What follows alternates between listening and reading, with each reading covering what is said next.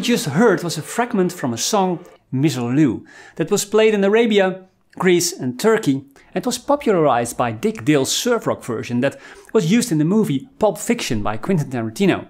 Among all skills that exist in the world, and even in some funky galaxies, there's one skill that sounds so dark, so different, so exotic, and so, well, so beautiful that it should be known by all musicians that want to expand their musical palette of colors. And that particular scale is called the double harmonic major scale. Single just isn't enough for this scale, it wants double. Now the first question is, what is harmonic?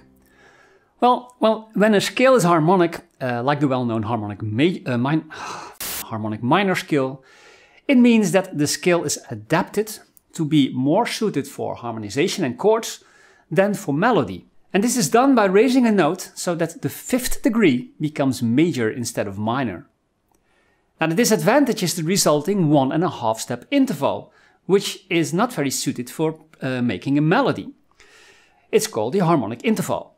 Now the plain major scale has a tonic, a major second degree, a major third degree, a perfect fourth, a perfect fifth, a major sixth and a major seventh degree.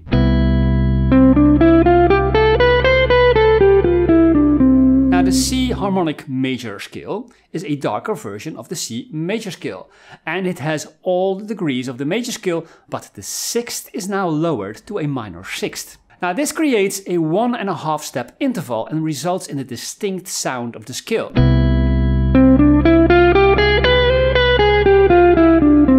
Now the double harmonic major scale can also be compared to the major scale, but it has a lowered sixth degree and a lowered second degree.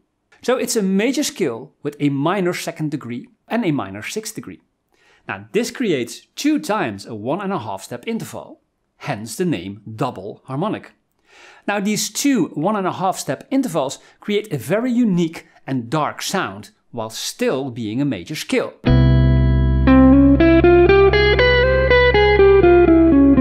Now, the formula of this scale is half step, one and a half step, half step, whole step, half step, one and a half step, and a half step.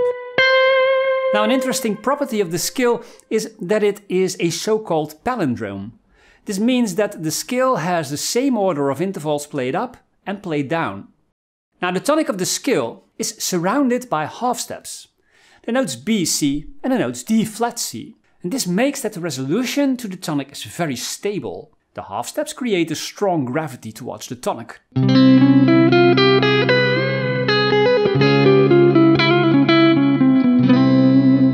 Now this scale goes by many names. Some call it the Byzantine scale or Byzantine scale or Arabic scale for its Arabic origin, but it's also called the Phrygian major scale because of the Phrygian minor second degree. Now other names for this scale are the Bhairav Raga and Gypsy major scale. The technical name is double harmonic major scale. Now here are some patterns for the double harmonic major scale and you can download these in the PDF format on my Patreon page. Now the chords that are created when we build triads by stacking thirds are awkward sounding. So let's harmonize the C double harmonic major scale and see what we get. The chord on the first degree is a C major chord, C, major third E and fifth G. The chord on the second degree is a D flat major chord, a D flat, major third F and the fifth A flat. The chord on the third degree is an E minor chord, E, minor third G and the fifth B. The chord on the fourth degree is an F minor chord, F, minor third A flat and fifth C. Now the first four chords already sound so peculiar. But it gets weirder. The chord on the fifth degree is a major flat 5 chord, G, major third B and a diminished fifth D flat. The chord on the sixth degree is an A flat augmented chord, A flat, the major third C and the augmented fifth E. And finally, the chord on the seventh degree is a strange chord. It's a B sus2 diminished chord. The B, the sus2 D flat, and the diminished fifth F. Now all chords in a row sound like this.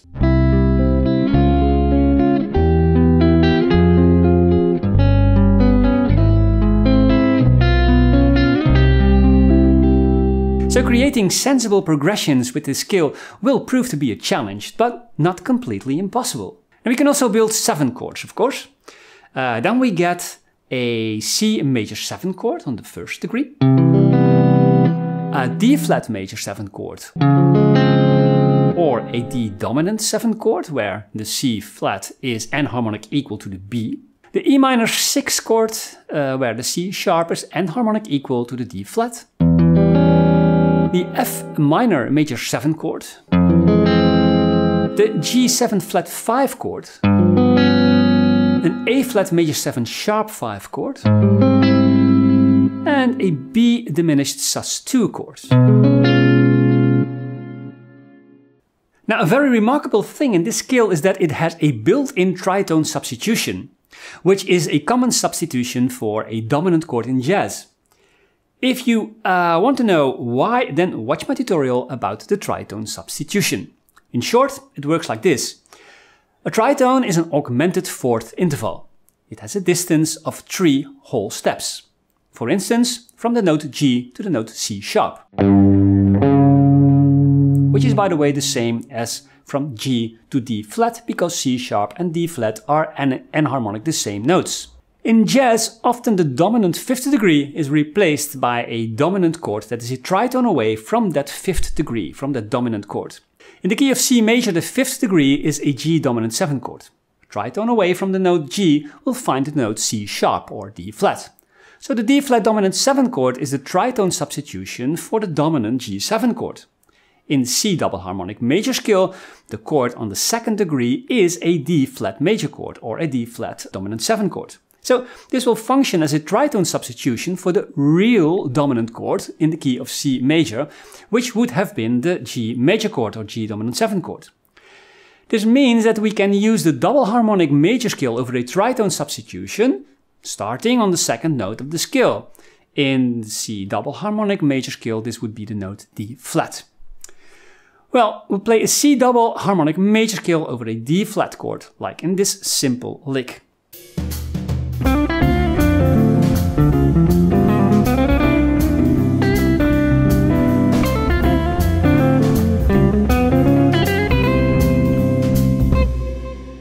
Later on in this video we will see that by doing this we actually play the second mode of the double harmonic major scale, the Lydian sharp 2 sharp 6 mode. But that's for later. Now besides the remarkable fact of the built-in tritone substitution on the second degree, there are two other degrees that are ambiguous in this scale too. Now we've seen that the third degree is an E minor chord, E, G and B, or an E minor 6 chord E, G, B and C sharp, where C sharp is enharmonic equal to the D flat. But it can also be an E major chord or E major 6 chord if we consider that the A flat is enharmonic equal to the G sharp to become the major third of the E major chord. The E major chord is also the chromatic median in C major, and that results in a beautiful cinematic sound. So over the chromatic median progression C major, E major, we can play at this C double harmonic major scale to create a daring different sound, like this.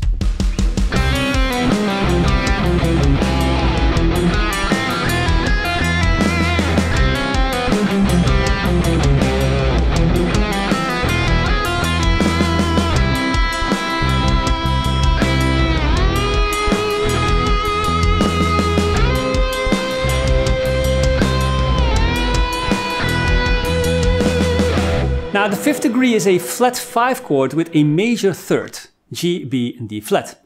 Adding the F to the chord creates a G7 flat 5 chord, which is a very dissonant chord. But if we leave out the diminished fifth and add the flat 9, then we get a G dominant 7 flat 9 chord without the fifth. And that can be played with a very common chord shape on the guitar. This chord sounds much milder and we are still playing the notes of the double harmonic major scale. Now we have already seen that the scale can be used over a tritone substitution and over a chromatic median progression. Also over a G dominant 7 flat 9 chord with no fifth the scale sounds very well.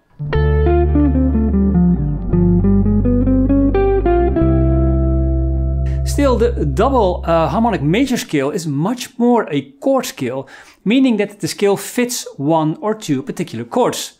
Most of the time, just one chord, and that will be the tonic of the scale.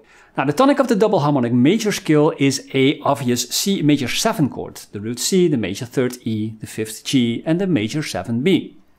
So if you want to throw in a spicy sound, then you could use the C double harmonic major scale over a C major 7 chord, like this.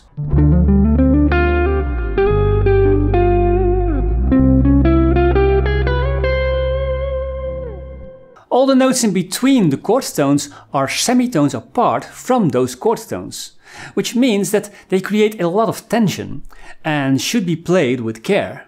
Now you can try this yourself by playing the scale over a drone bass note, or over a major 7 single chord backing track for instance.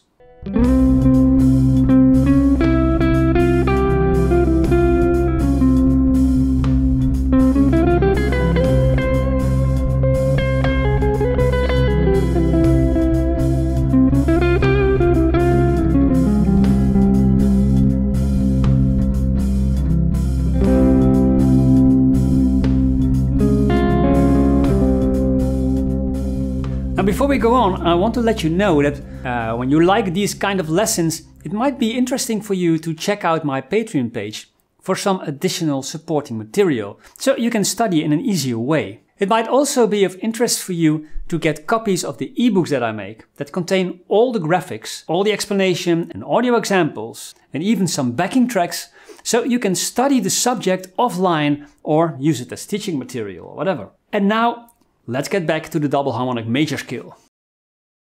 Now, despite the fact that some chords in this scale sound pretty weird, there are combinations that work very well and catch the essence of the scale in a sensible way.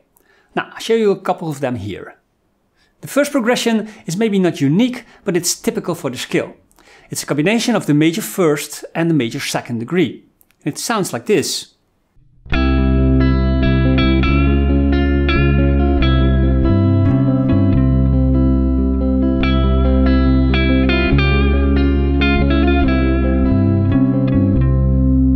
We can also make a 7 chord variation in order to use every note in the scale.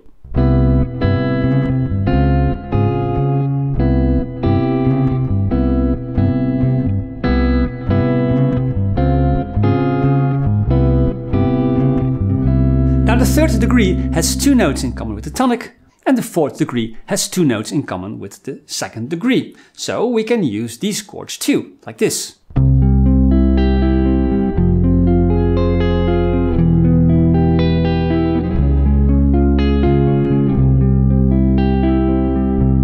Using the minor major 7 chord on the 4th degree also creates a mysterious sound like this.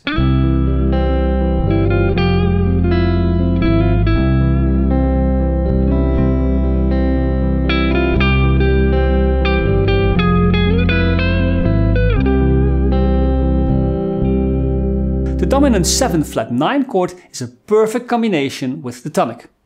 We should leave out the diminished 5th though.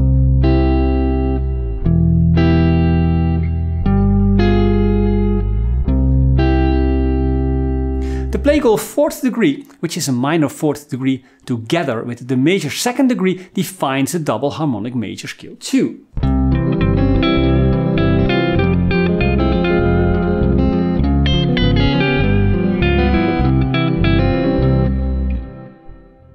Now just like the major scale, the harmonic minor scale and melodic minor scale, the double harmonic minor scale has modes too.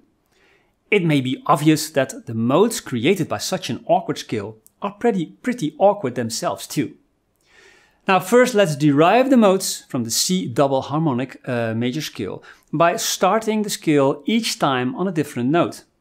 Now the first mode is the C double harmonic major scale itself. The degrees in this scale are the tonic, the minor second, the major third, the perfect fourth, the perfect fifth, the minor sixth and the major seventh.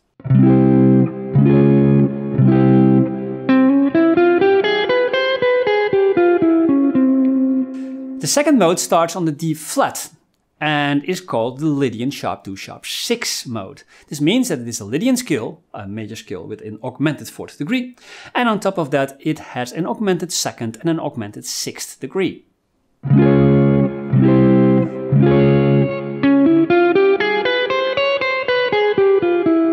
Now the third mode of the C double harmonic major scale is the E ultra Phrygian mode. This is a Phrygian scale, a minor scale with a minor second degree, and it, has also a diminished fourth and a dimin diminished seventh degree.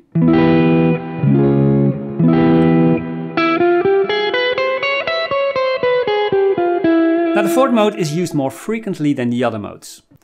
It is known as the Hungarian minor gypsy minor or double harmonic minor scale. It's the same scale as the harmonic uh, minor scale, a minor scale with a major 7 degree, but it has also an augmented fourth degree.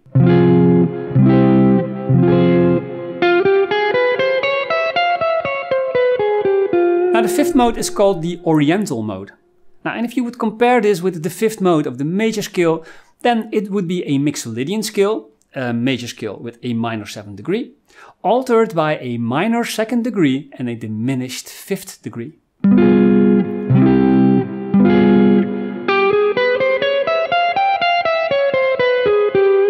Sixth mode is called the Ionian Augmented Sharp 2 mode or Ionian Sharp 2 Sharp 5 mode. And this is just what it says. It's a major scale with an augmented fifth degree and an augmented second degree.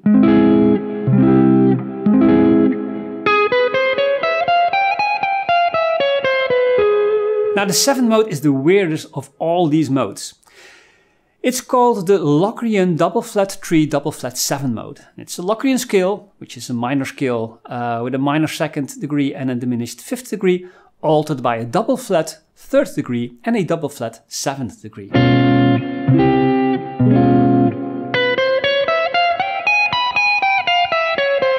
Now if you take a closer look to all these modes then you'll notice that all modes have a chromatic sequence B, C, D flat, which is unique for the modes of the double harmonic major scale. Now if we trace back all the modes to the tonic C, we can see more clearly what the differences are and more important what the tonic of the scale is. Then we know over what chord the mode sounds best. Now the first mode, the double harmonic major scale, has a C major 7 chord as a tonic.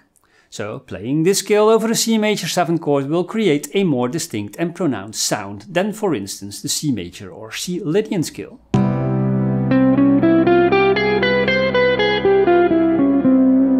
The second mode, the Lydian sharp 2 sharp 6 mode, has a dominant 7 chord as a tonic, and it can also be a C major 7 chord by the way.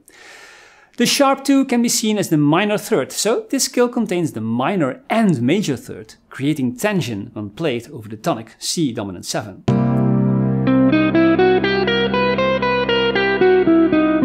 The third mode, the ultra Phrygian mode, has a C minor 6 chord as a tonic, if we consider the diminished 7th degree enharmonic equal to the major 6th degree. So this mode can be an alternative for a C Dorian uh, mode that would have been an obvious choice to play over a minor 6 chord.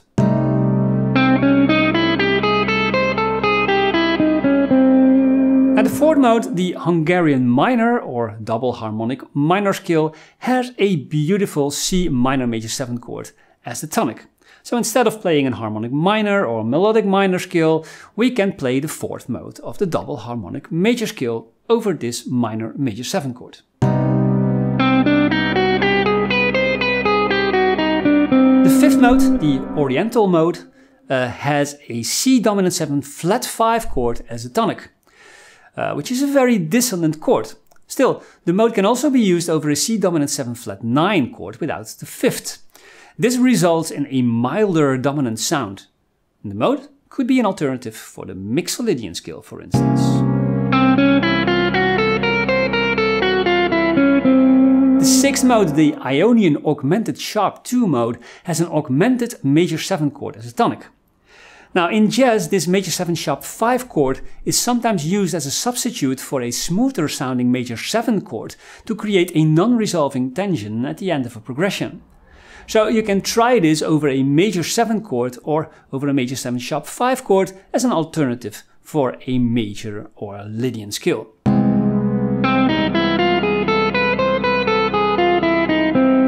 The seventh mode, the Locrian uh, double flat 3, double flat 7 mode, has not really a defined tonic chord. The triad is not present and it has a diminished fifth and diminished seventh degree. So you could play this over a full diminished chord for instance.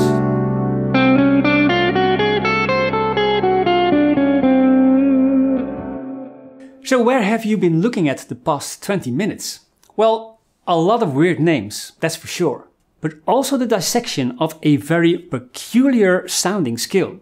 A dark scale while being major. A lot of weird modes uh, that can actually sound unique with some effort of course. You've been also looking to another way to create a new sound, new mood that can enrich your style of playing. Like with any new skill, lick, chord or technique, it takes time and that is up to you. Well, I hope I have set you in the right direction to mine the possibilities of the double harmonic major scale. Good luck, success, and above all, have lots of fun. Bye.